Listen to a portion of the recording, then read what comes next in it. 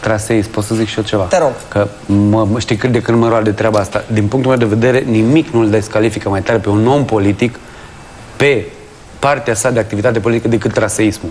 Deci, din punct, da. pentru mine pot să... Dev... Am și prieteni care au făcut schimbările astea de partide și o să rămână prieteni cu bulina asta neagră toată viața. Dar din punct de vedere politic nu mai au ce discuta cu mine. Și uh, este un banc foarte românesc. Nu, e, nu, nu primește Să nu amendă mă dacă tem. zic. Nu, nu, nu. nu, nu te, te. Uh, capitanul vine la batalion, în armată fiind, da? Zice, bă băieți, am două vești. Una bună, una proastă. Cu ca, pe care să vă spun? Păi aia bună, șef, domnul capitan. Păi, astăzi vă schimbați șosetele. E, ura, ura. Dar vestea proastă care? Între voi.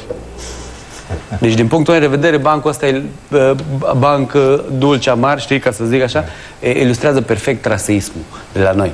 Și se- din punctul meu de vedere se descalifică îngrozitor un om care trece de la un partid la altul, brusc, dându-și seama că, bă, dar eu am stat 5 ani deja în partidul ăsta, că nu e ideologia mea asta. Ia să mă duc eu dincolo. Nu, nu se face. Cu stilul ăsta nu se... Independenția. Hai mă, să cu Gabi Oprea, președintele, sau ce e el, șef de haită la independenția aia.